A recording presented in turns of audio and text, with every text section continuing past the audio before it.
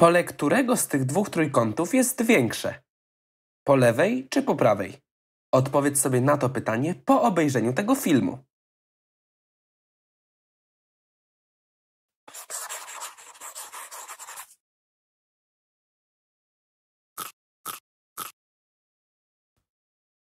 Z wcześniejszych lat nauki powinniśmy pamiętać ten wzór na pole trójkąta. Pole trójkąta równa się 1 druga razy podstawa i razy wysokość. Opowiem Ci teraz, skąd bierze się ten wzór. Narysowałem tutaj trójkąt. Ten bok będzie podstawą mojego trójkąta, ale brakuje mi jeszcze wysokości. Wysokość trójkąta to odcinek łączący wierzchołek trójkąta z przeciwległym bokiem. Dodatkowo wysokość musi być prostopadła do boku. Prostopadła, czyli pod kątem prostym. Narysujmy wysokość. Przyda mi się do tego jakierka.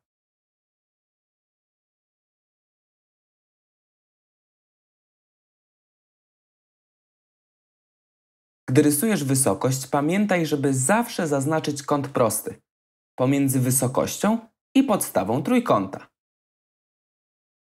Wysokość trójkąta podzieliła go na dwa mniejsze trójkąty. Zobacz. Spójrz na niebieski trójkąt. Skopiuję go i obrócę. Zobacz. Mam dwa identyczne trójkąty. To samo zrobię z pomarańczowym trójkątem. Mam tutaj dwa identyczne trójkąty. To, co powstało tutaj, to prostokąt.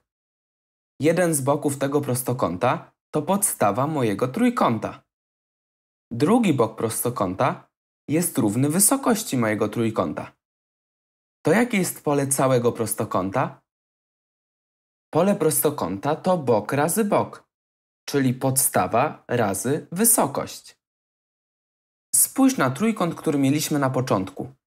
Jego pole jest dokładnie dwa razy mniejsze od pola prostokąta. Więc aby policzyć pole trójkąta, biorę połowę pola prostokąta. Czyli 1 druga razy a i razy h. Właśnie udowodniliśmy wzór na pole trójkąta. Teraz przejdźmy do obliczeń. Znamy już wzór na pole trójkąta i wiemy skąd on pochodzi. Teraz wykorzystajmy go w obliczeniach. Policzmy pole tego trójkąta. Znamy długości jego trzech boków oraz jednej z wysokości. Co potrzebujemy podstawić do wzoru? Pole trójkąta to się równa 1 druga razy długość podstawy i razy długość wysokości. Wysokość w tym trójkącie ma 8 cm. Zauważ, wychodzi ona z wierzchołka trójkąta i opada na przeciwległy bok pod kątem prostym. Wysokość to 8. A podstawa trójkąta? To będzie ten bok, na który opuszczona jest wysokość, czyli ten 12 cm. I teraz już wiemy, jak obliczyć pole tego trójkąta. 1 druga razy 12 to 6 razy 8. 6 razy 8 to 48. Jednostka centymetry kwadratowe. Pole tego trójkąta to 48 centymetrów kwadratowych. W trójkącie mamy trzy boki i trzy wierzchołki, czyli mamy także trzy wysokości. Zaznaczę teraz po kolei każdą z nich. Zacznijmy od tej, która jest prostopadła do tego boku wychodzi z tego wierzchołka i jest prostopadła do tego boku. Mamy też wysokość prostopadłą do tego boku, o tutaj. I trzecia wysokość, która wychodzi z tego wierzchołka i jest prostopadła do tego boku.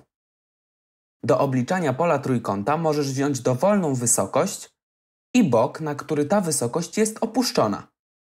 Pierwsza opcja, druga opcja albo trzecia opcja. Zobacz, w tym trójkącie, tak jak w każdym trójkącie ostrokątnym, wszystkie trzy wysokości leżą wewnątrz trójkąta. Na dodatek przecinają się one w jednym punkcie. A jak jest w innych trójkątach? W prostokątnym i w rozwartokątnym. O tym opowiem Ci za chwilę. Czas na trójkąt prostokątny. Musisz pamiętać, że w trójkącie prostokątnym dwie przyprostokątne są do siebie prostopadłe.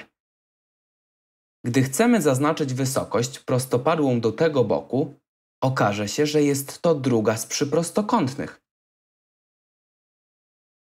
A co jeśli chcesz zaznaczyć wysokość prostopadłą do tego boku? Wychodzi ona z tego wierzchołka i jest prostopadła do tego boku. Zauważ, to jest druga przyprostokątna. W trójkącie prostokątnym dwie wysokości są jego przyprostokątnymi, ale każdy trójkąt ma trzy wysokości. Gdzie jest trzecia z nich? Szukamy wysokości prostopadłej do tego boku. Wychodzi ona z tego wierzchołka. I jest tutaj. Dzięki temu już wiemy, gdzie są trzy wysokości w trójkącie prostokątnym. W każdym trójkącie mamy trzy wysokości. Czasem, aby móc zaznaczyć wysokość, muszę narysować przedłużenie boku. Zobacz. Przedłużyłem ten bok i dopiero teraz mogę zaznaczyć wysokość. Wysokość wychodzi z przeciwległego wierzchołka i jest prostopadła do przedłużenia mojego boku. Weźmy następny bok i następny wierzchołek. Tutaj także potrzebne mi będzie przedłużenie mojego boku. Wysokość wychodzi z przeciwległego wierzchołka i jest prostopadła do przedłużenia mojego boku. To teraz czas na trzecią wysokość. Gdzie ona jest? Szukamy wysokości opuszczonej na ten bok. Wychodzi ona z przeciwległego wierzchołka i jest prostopadła do mojego boku. Teraz mogę zaznaczyć wszystkie wysokości w trójkącie rozwartokątnym. Dwie z nich leżą poza trójkątem, a trzecia z nich jest w środku.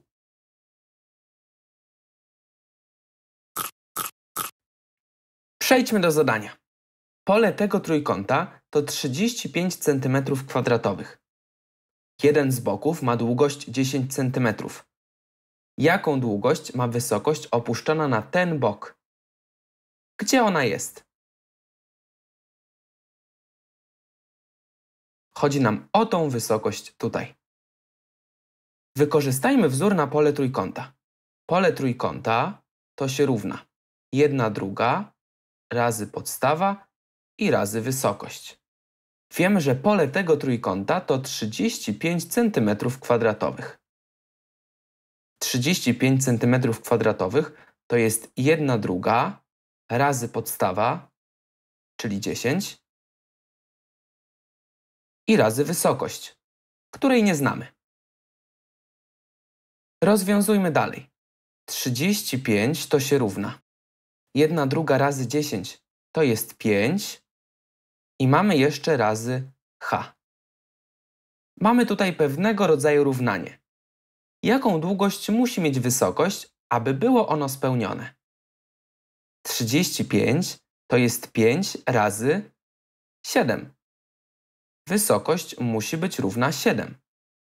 Pamiętajmy o jednostce, więc wysokość ma 7 cm.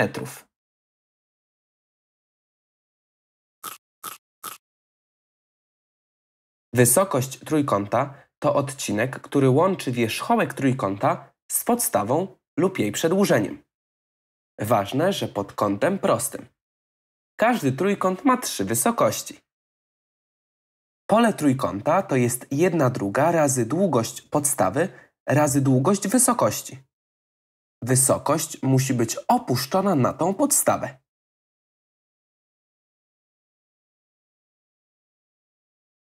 Do obejrzenia masz jeszcze pozostałe filmy z playlisty o trójkątach, a więcej materiałów znajdziesz na naszej stronie Pistacja TV.